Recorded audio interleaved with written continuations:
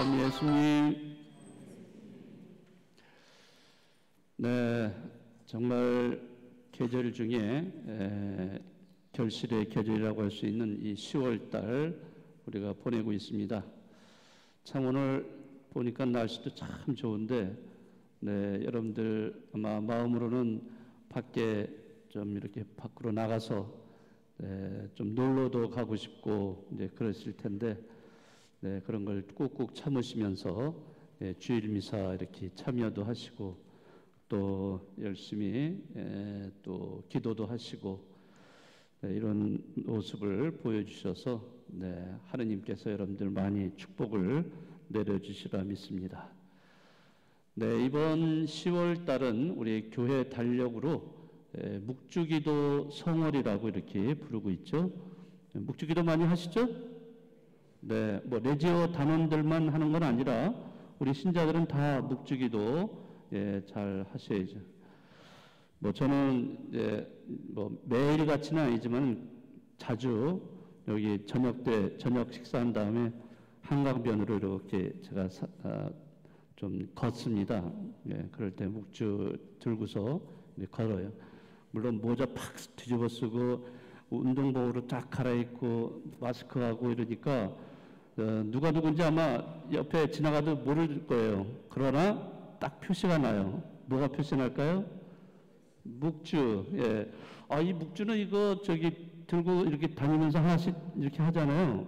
근데 묵주가 크니까 손 안에 다 들어가지 못하고 삐져나와서 이렇게 돼요. 그러니까 지나가다가 어, 손에 뭐가 있구나 이러면은 아, 저 양반이 본당 신부구나 이렇게 생각하시면 됩니다.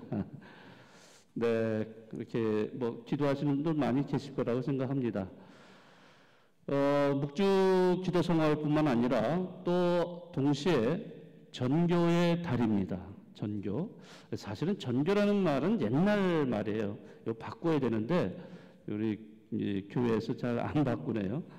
예, 이거를 우리는 선교라고 이렇게 얘기를 하죠. 어쨌든 이 선교의 달, 전교의 달인데 특별히 오늘 같은 경우는 전교 주일로 이렇게 정해놨습니다. 그래서 오래전부터 전교 주일로 오늘 보내고 있고 또 그러면서 저희는 특별히 그 민족들의 복음화를 위한 미사로 봉헌하고 있습니다. 네, 그래서 오늘 여러분들과 함께 전교 또는 선교에 대한 의미를 좀 되새기고 또 뿐만 어, 그러기 위해서 제가 영국의 에, 노리치의 에, 중세 신비가인 줄리안이라는 아, 이런 은수자에 대해서 여러분들과 이야기를 좀 나누고 싶습니다. 노리치 줄리안 이 분에 대해서는 사실 알려진 바가 그렇게 많지는 않습니다. 이분은 1342년에 태어나신 분인데 나중에는 봉쇄 은수자로 평생을 살다 돌아가십니다. 봉쇄 은수자. 지금은 아마 거의 이런 분은 안 계실 거예요. 네, 그런데 이제 그 당시만 해도 이런 은수자들이 있어서 평생을 어떤 방 하나 거기에 들어가 가지고 나오지 않고 거기서 에, 살다가 예, 돌아가시는 이런 경우가 있습니다. 예, 그 당시 14세기쯤에서 그 유럽 또 영국 이런 데서 흑사병이 창궐하고 있었어요. 정말 흑사병으로 인해서 많은 사람들이 죽어 나가고 고통당하는 이러한 상황이었습니다.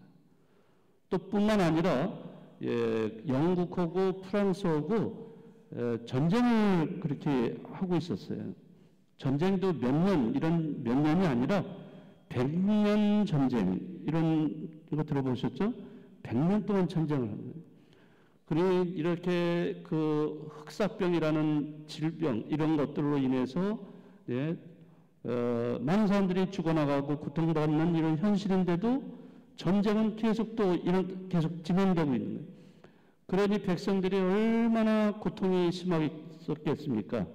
또 더군다나 그 당시에 교회, 교회는 또 타락하고 부패된 모습을 보이고 있었어요.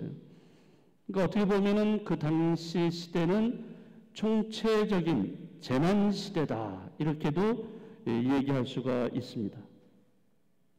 정말로 암울한 시대, 아무런 희망이 없는 그런 시대에 바로 이 줄리안이라는 이브 신비가가 등장을 해서 그 당시의 사람들한테 하느님의 사랑과 자비를 이렇게 이야기해 주었고 모든 것이 잘 될 것이다 라는 긍극적인 긍정적인 이런 희망의 메시지를 전해 주어서요 당대 사람들이 정말로 이런 재난의 고통 속에서도 깊은 위안을 받았다고 합니다. 조금 더이 어, 줄리안에 대해서 말씀드리자면은 이 줄리안이 은수자가 되기 전에 어, 한 서른 살쯤 돼서 중병에 걸려가지고 거의 죽을 정도로 이렇게 사경을 헤매고 있었어요. 그래서 병자성사, 이제 옛날에는 종부성사라고 그랬죠. 병자성사를 청해가지고 병자성사까지 받았어요. 자, 이런 상황에서 이 줄리아는 어, 하느님을 만나는 하느님의 말씀, 계시를 듣는 그러한 신비 체험을 하게 됩니다. 한 번도 아니고 16번이나 신비 체험을 해요. 그래서 이 신비 체험을 자기만 간직하는 것이 아니라 어, 그 당대 사람들한테도 알려야 되겠다. 이렇게 해서 사랑의 계시라는 책을 에, 씁니다. 그게 뭐 책을 많이 쓴 게 아니라 바로 그 책 하나가 계속 남아 있는 거예요. 네, 이 이러한 신비 체험을 한 다음에 이 줄리아는 병으로부터 말끔하게 이렇게 회복이 돼요. 네, 회복이 된 다음부터 그 다음부터 이제 은수자 생활을 어, 하기 시작합니다. 그 당시에 이제 은수자들은 그 많은 사람들이 다 은수자가 될 수가 없었어요. 소수의 사람들만 교회 어, 허가를 받아서 허락을 받아서 은수자가 될 수가 있었는데 그 옛날에도 은수자가 있었어요. 초대 교회 또 어, 교부 시대 때도 그 은수자들은 사막의 은수자들이라고 불렀습니다. 그분들은 속세, 세속을 떠나서 사막으로 나가서 거기에서 고독 속에 정말 고독 속에 하느님을 체험하고 그분을 만나고 그분의 말씀을 듣는 그래서 하느님과 일치된 삶을 살았던 그런 분들이 은수자였어요. 사막의 은수자다. 이렇게 불렀습니다. 근데 이 14세기 경에도 역시 영국에 이러한 은수자들이 있었어요. 그런데 이들도 역시 세상을 떠나서 세속을 떠나서 어, 살아가는 사람들. 그러나 어디로 가서 어, 삶을 사냐면은 그 성당에 있는 성당에 아주 자그마한 방이 있는데 그 방에 들어가서 평생을 봉쇄된 상태에서 어, 평생을 어, 사는 이런 사람들이 되는 겁니다. 이해가 있었다고 합니다. 창문이. 그래서 첫 번째 창문은 뭐를 위한 것이었냐면은 그 음식과 생활에 필요한 것을 공급받는 그런 창문이었어요. 두 번째 창문은 어떤 창문이냐면 바로 그 성당의 제대를 향해서 나온 난 그런 창문이었어요. 그래서 줄리아는 한 달에 한 번 미사에 참석을 해서 성체를 모시 모셨다고 합니다. 그리고 세 번째 창문은 그 노리치의 그 거리 쪽을 향해서 나온 난 창문이었어요. 그래서 이 창문을 통해서 그 재난 속에 그 위안을 얻기 위해서 찾아온 사람들이 굉장히 많이 있었어요. 이 은수자에게 찾아와서 자기 고민을 얘기하고 이런 대화를 하면서 그 사람들과 대화를 하면서 이 은수자는 그들을 위해서 기도를 해 주었다고 합니다. 그러니까 이제 그 작은 방이 어떻게 보면 종신 자가격리 방이라고 이렇게 얘기할 수 있어요. 우리가 지금 자가격리 어, 하도 뭐 14일 뭐 이렇게 하잖아요. 그거는 뭐 될 것도 아니죠. 평생을 예? 자가격리 상태에서 사는 거예요. 얼마나 힘들겠습니까? 그러나 그런 거를 기도와 관상으로 하느님과 일치된 삶을 그렇게 사는 거예요. 그런데 그 방이 구조가 창문 셋이 있었다고 그랬는데 그 중에 두 개는 자기 자신을 위한 방이었어요. 예, 창문이었어요. 그러나 또 하나의 창문은 바로 세상을 위한 창문이었어요. 세상 사람들을 위해서 그들이 찾아와서 어려움을 호소할 때 네, 그들과 소통을 해서 그들의 아픔, 슬픔, 고달픔, 네, 이런 것들을 위로해주고 또 그들을 위해서 기도해주는 이런 창문이었어요. 자, 이런 은수자, 줄리안이라는 은수자를 우리가 아, 그분의 삶을 이렇게 생각하면서 창문에 대한 생각을 해보았습니다. 창문. 창문은 밖을 보라고 있는 것이죠.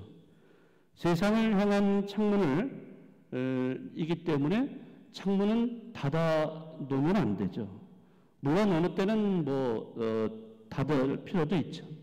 예, 밖에 차가운 공기를 차단하기 위해서 닫을 필요도 있지만은 창문은 또 열려 있어야 돼요. 밖을 향해서 열어 놔야 됩니다. 예. 자, 교회도 마찬가지예요. 이 교회도 예, 창문을 열어 놔야 돼요. 밖을 향해서 열어 놔야 됩니다. 그런데 어떤 경우는 교회가 밖을 향해서 창문을 열지 않고 닫아 놓는 이런 폐쇄적인 교회가 있을 수도 있어요. 이렇게 폐쇄적이라면은 그것은 굉장히 자기 중심적인 그런 교회가 될 수가 있는 거죠. 우리 신자들도 그래요. 신자들도 네, 자기 신자들끼리만 소통하는 그리고 신자들끼리만 나누는 공동체가 되어버린다. 그러면 그 공동체는 굉장히 이기적인 공동체가 될 수밖에 없어요. 그리고 나만, 나만을 위해서, 내 가족만을 위해서 기도하고 그렇게 멈추는 그런 신앙인이다 하면은 굉장히 이기적인 신앙인에 불과할 수밖에 없습니다. 우리들도 각자 창문을 밖을 향해서 열어놔야 돼요.